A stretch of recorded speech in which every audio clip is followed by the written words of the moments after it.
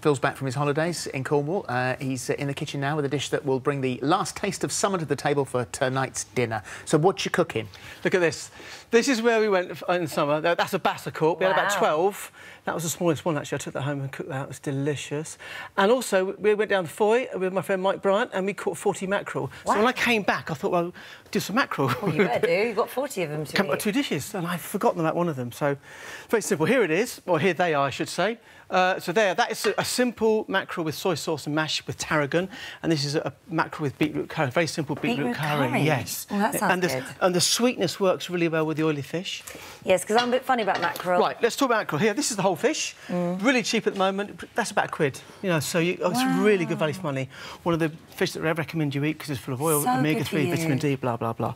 But th- I think what puts a lot of people off, including my um, my kids, was the bones. And, and when I was a kid, we used to have kippers. I hated Can't my be bothered with all that. no. So I'm going to show you a quick way. Here, I've taken off the fillets.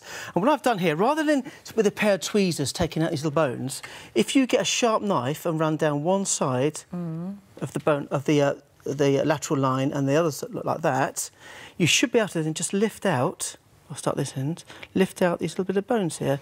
You've got to take a bit of. There you go. And out they come, you see? And you just pull the whole Yeah, the whole thing will come out as long as you get a nice sharp knife. And that's it. The whole thing comes out.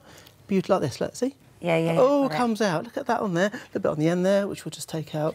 And that like should stop that. you picking through. Yes, the- and the, the worst thing is, uh, as you know, especially you've got children, is that, that, that one bone they won't eat it again. No, they won't touch it. Now, if you're going to preserve mackerel like escabeche, which is a, a pickled uh, Spanish dish, sometimes they curl up because of the skin. So what you can do is, I've done it on a very fresh mackerel here. It's got a second skin, like it's like tracing paper. And you can just take off this little tiny... Oh, right. that comes off like tracing paper. And that way you still get a beautiful markings and it doesn't actually shrivel up when you Well, cook that I it. didn't know. But if you're cooking fresh mackerel, I like to leave that on because it gives you a bit more leeway if you slightly overcook it. Okay. Okay.